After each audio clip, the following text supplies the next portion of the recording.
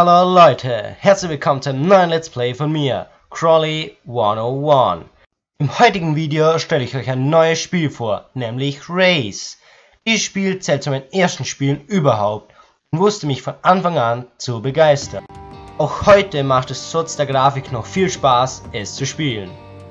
Dieses actionreihe Shooter-Spiel lässt sich kostenlos auf armorgames.com zocken und handelt vom Kampf zwischen einer Menschenfraktion, Roboterfraktion sowie einer Alien-Fraktion. Link zum selber spielen findet ihr natürlich in der Beschreibung.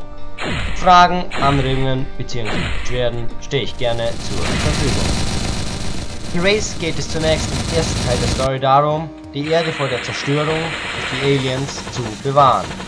Dabei werden die verschiedensten Aufgaben übernommen, wie zum Beispiel Trainingsmissionen, Verteidigungsschlachten, aber auch Kämpfe gegen Zombies.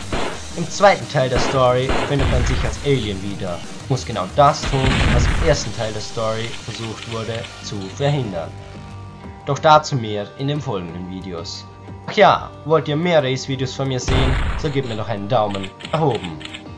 Ich spiele Race derzeit auf armorgames.com, eine sehr gute Spielwebsite. Jedoch lässt es sich sehr wahrscheinlich auch auf einer anderen Webseite spielen.